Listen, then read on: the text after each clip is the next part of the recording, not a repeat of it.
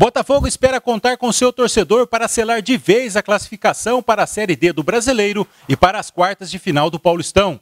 No domingo, às seis e meia da tarde, o Pantera recebe o Bragantino no Estádio Santa Cruz pela penúltima rodada do Paulistão. E para ter o Estádio Santa Cruz cheio neste domingo, a diretoria do Pantera está fazendo uma promoção. Estudantes, aposentados, mulheres e os torcedores que vierem com uma camisa do tricolor pagarão 15 reais. O Botafogo tem a sexta melhor média de público deste Paulistão, com quase 8 mil pagantes por jogo. E é com essa força que os jogadores esperam contar no domingo. A gente conta com a torcida, né? a gente sabe da importância, a gente sabe que da decepção que foi o último jogo, pelo fato da extra, extra, aconteceu, mas a gente pede para toda a torcida comparecer ao estádio.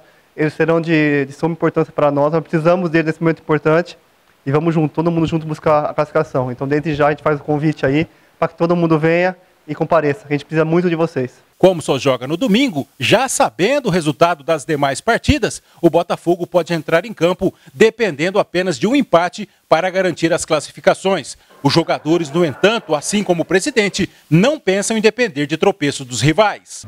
Jogo muito importante. A gente já vai entrar em campo no domingo sabendo o que, que vai ser preciso fazer. Se o Linense não vencer o Corinthians, a gente vai ter já assegurado a vaga na Série D e aí vamos poder ter até um pouco mais de tranquilidade para jogar para vencer, sabendo que pode empatar contra o Bragantino, né?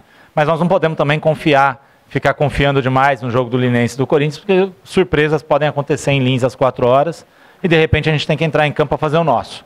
E o nosso é vencer o Bragantino.